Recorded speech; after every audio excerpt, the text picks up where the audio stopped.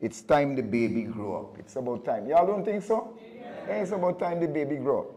You can't have a 2,000 year old baby walking around and they still calling him a baby. So it's time the baby grow up, right? Tickle your brain. Uh, this morning I go to two texts. Uh, John chapter 13 and verse 25. God, please guide my mind and help that what I say in this sermonette will help someone to be drawn closer to you. In Jesus' name, amen. John chapter 13, and I go to verse 27. 13 27 of John, it says, And after this so, Satan entered into him, that's into Judas. Then said Jesus unto him, That thou doest, do it. Do quickly. Verse 30 says, He then, having received the sop, went immediately out, and it was night. That thou doest, do quickly. People have all types of things they do during the lifetime. And as we have come to the penultimate Sabbath in this year, second to last, am I correct? Second to last in 2023.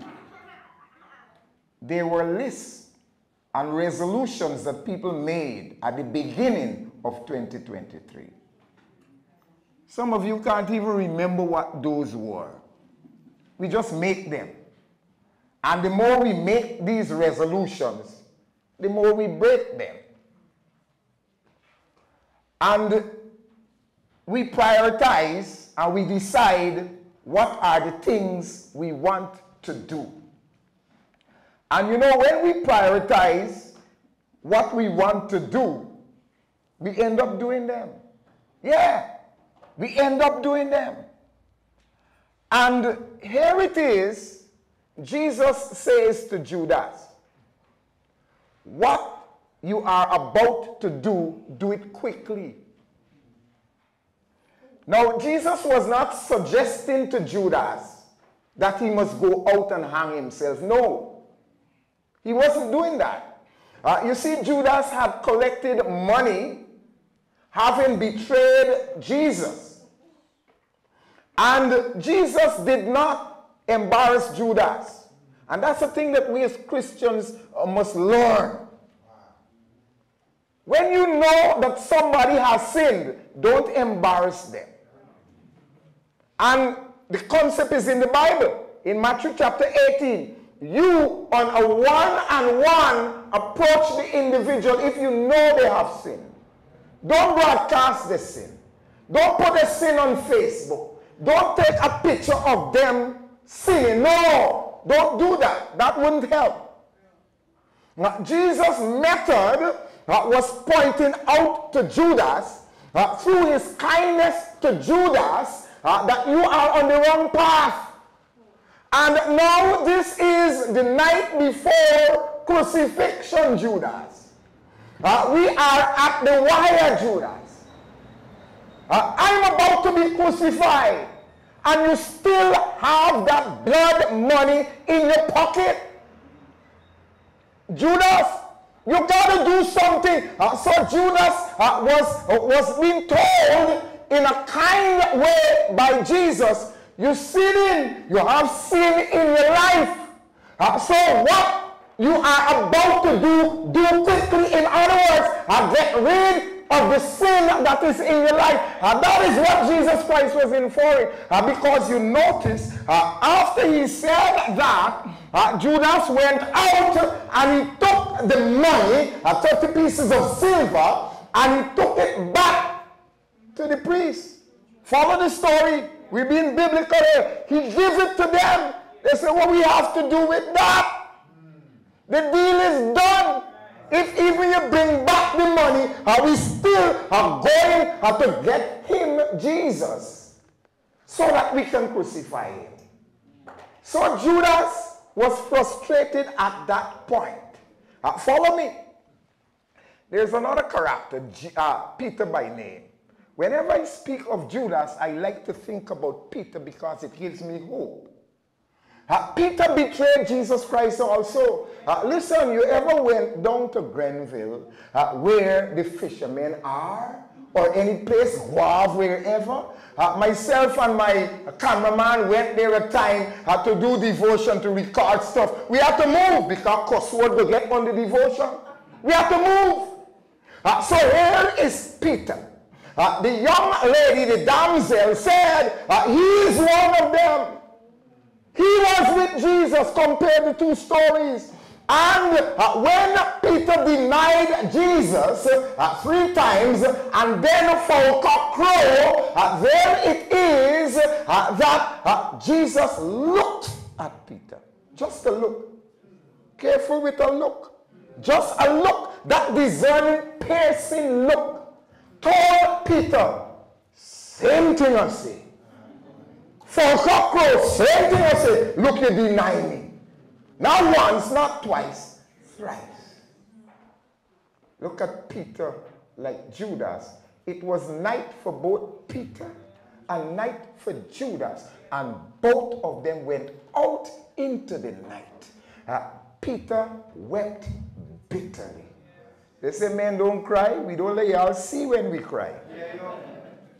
Yeah, that's the difference. We don't let you see.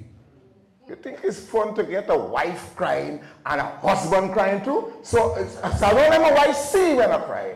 If I just cry, no, she mustn't see. But here it is. That big, burly, strong fisherman. Now, they didn't have outboard motor then to carry the boat wherever. You had to row side all. So Peter had to be a strong burly, muscular, robust, macho individual. And that big man went out and cried. Why? He cried because he disappointed Jesus.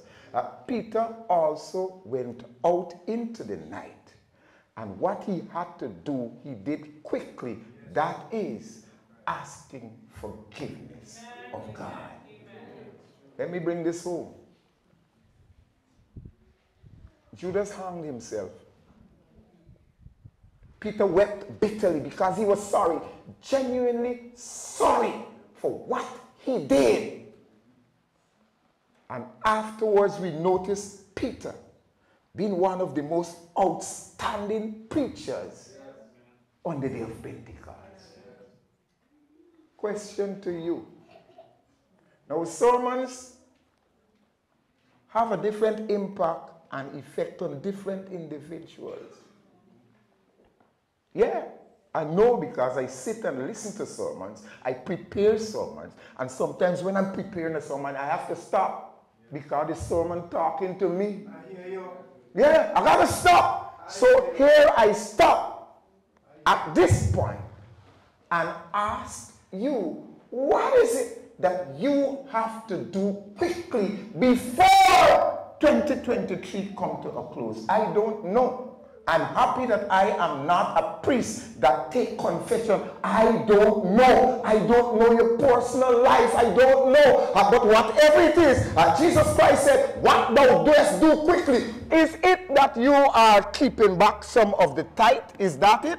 Uh, is it uh, that perhaps, uh, is it that perhaps uh, you have a sin problem? Is it that perhaps uh, you have aught against your brother or sister, uh, is it uh, that uh, you are not keeping all of the Ten Commandments? Uh, is it uh, that you and your wife have a problem? Now listen, when we have personal relationship problem in our home, it's difficult to take the communion, you know. Difficult. We got to make it right with that individual first, uh, whether son daughter, a husband or wife, uh, what you do, uh, do quickly. Now, the issue this morning is that if you have a sin issue, don't walk out of this church and don't clear it up with God. Talk to God like Peter did. If you have to weep, go ahead. And ask God to make it right with you. Only He can do it. Only He can do it. I love the Bible. I must mention this as I close.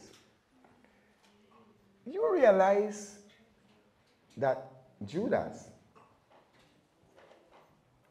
was a follower of Christ. But was putting it lightly.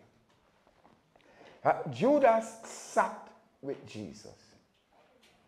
For three and a half years, uh, Judas was taught by Jesus. I want you to follow this. Uh, Judas saw Jesus performing miracles. Uh, Judas saw Jesus raising the widow of Nain's son back to life. There's power, you know. And the real one that sticks in my head is that Judas saw Jesus saying to Lazarus, Come forth, after he was dead for four long days. And that is the man that Judas chose to betray. Follow, follow, don't miss this. Peter saw that also. And Peter said, even though I denied him, I want to work for him. I want to be attached to him. I want to be closely connected to him. That's the way we should run our lives. As you go into 2023, I would like 2024, I would like you to remember Mark chapter 1 and verse 25. You know what it says? As he, Jesus, as his custom was, he went into a solitary place and they prayed. And the, the, the, the, the next verse says, and Simon and the others followed Jesus. I want you get it. We're not talking about Judas wasn't a backslider, you know. No. He wasn't a backslider. Judas observed all the miracles. And Judas also observed Jesus' prayer life and he followed. But here, there was something missing, and that is that Judas preferred to hold on to what this world has to offer and to give up eternal life. So Jesus Christ was saying, hey, hurry up! What you doing, do quickly. Go and give back the money and then come back to me for the look of approval. You won't see there, but it's in front. But he chose to hold on to what this world has to offer. 30 pieces of silver, the price of a slave. He didn't even get to spend it.